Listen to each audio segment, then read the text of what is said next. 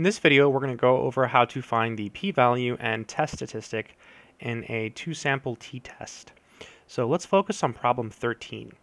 So it says a sample of 10 regions in New England had a mean violent crime rate of 3.51 and a standard deviation of 0.81. So already in the first sentence, you see it's giving us the sample standard deviation.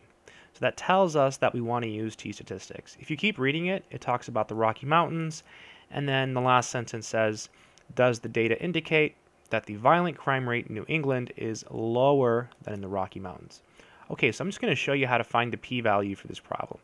So because it gives us the sample standard deviation, what you want to do is you want to use t. So you go over here to where it says stat, and you click on stat, t-stats, and we have two samples, right? We have New England and the Rocky Mountains.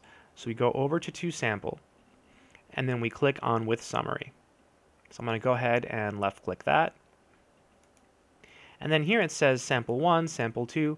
So you just look into your problem and fill in the boxes. So it's the sample of 10 regions in New England. That's the sample size. So we put the 10 here in the box that says sample size. Then it says had a mean violent crime rate of 3.51. That's the mean, so that goes in this box here, 3.51. Then it says sample standard deviation. So that's the standard deviation here of 0.81. So 0.81. You have to be really careful with all these decimals. uh, now sample 2. That's going to be the Rocky Mountains. So sample of 12 regions, that's our N. And then it says has has a mean violent crime rate of 3.87. So that's the mean, so 3.87. And then it says over here, standard deviation of 0.94. So that's going to go in this box here. So just to double check, let's see. We had the sample of 10 regions. That's here. Checks. We had a mean violent crime rate of 3.51. That's here. We have a standard deviation of 0.81. That's here. Over here we have 12 regions, so that's n. That's the sample size. We had a mean violent crime rate of 3.87. That's over here, checks.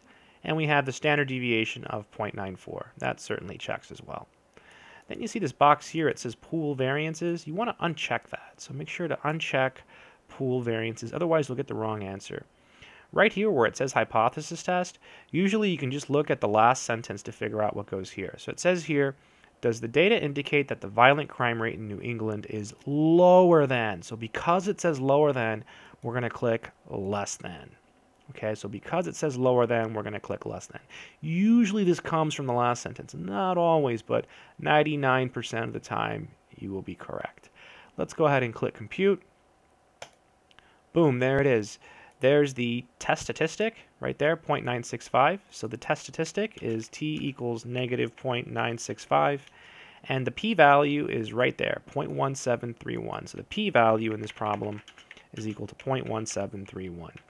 That's not the, how you do the entire hypothesis test, but at least that's how you use StatCrunch to find the test statistic and the p-value. So I hope that is helpful.